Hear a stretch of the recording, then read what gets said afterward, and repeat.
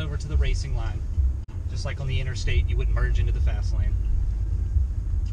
And then we've got the reference cone set up. If you've done this before, you probably know about the cones. Again, don't stare at the cones, look through the cones. Yeah. And don't even worry about your steering. Your hands are going to simply follow your eyes. So I'm already starting to scan in to the inside. I've seen it. The car is pointed there. I'm now looking I've seen it. The car is pointed there. I'm now looking up and right.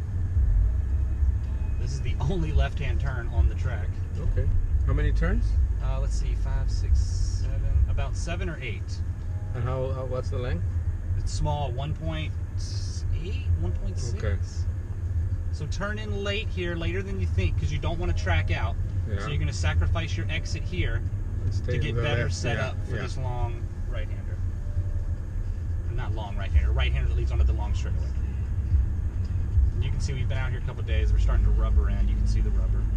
You see the rubber going to the grass Yes, too. ignore that. Ignore that. and on the on the wall there.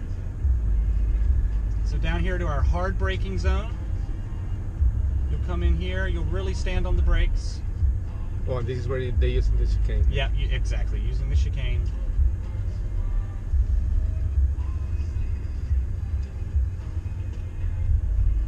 Climb back up this hill. It's a little blind, but if you stay to the left side of the road, you'll see it kind of opens up and you have plenty of room. So just kind of trust. Trust that. Yeah, what's trust coming. it. Yep, exactly. Climbing the hill. Down through here, it doesn't take a lot of brake, maybe a 5 out of 10 on a Yeah. scale of 1 to 10. Roll some speed through here.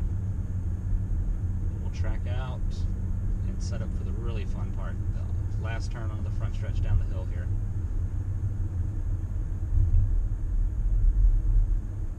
And about here, you'll just give it a little bit of brake just to settle the front down, bring it to the inside, and then about here, you'll be able to literally floor it.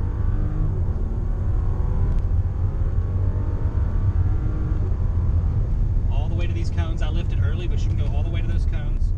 Probably get up to 110, 115 in that short amount of Okay. time. Keep braking, keep a steady brake. then down to your cones. We've got two set up here just to keep you down there. Let it drift out a little bit. Bring it back down. Then again, you're going to stay out to the right longer than you typically typically think you would. Because again, you're late apexing because you don't want to track out.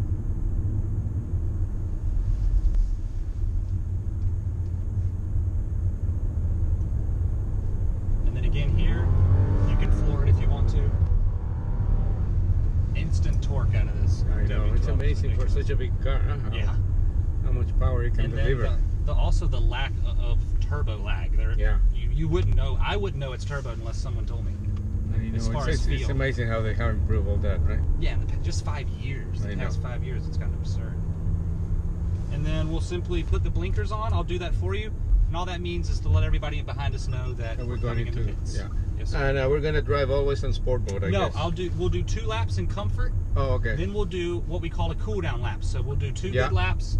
Then we'll do a nice slow lap, let everything cool down. Then we'll rip it again in sport mode for two laps. okay. And then we'll do a cool down lap and come in. So you'll actually be out there for a pretty good while, six laps.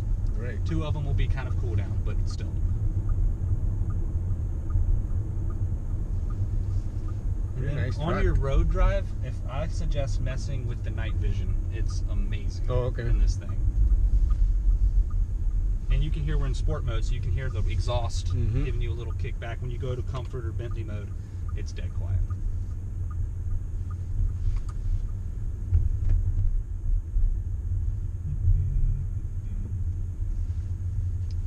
And then if we approach somebody, I'll request them to let us by. If somebody catches us, I'll request them to let us by. So don't worry about the other people.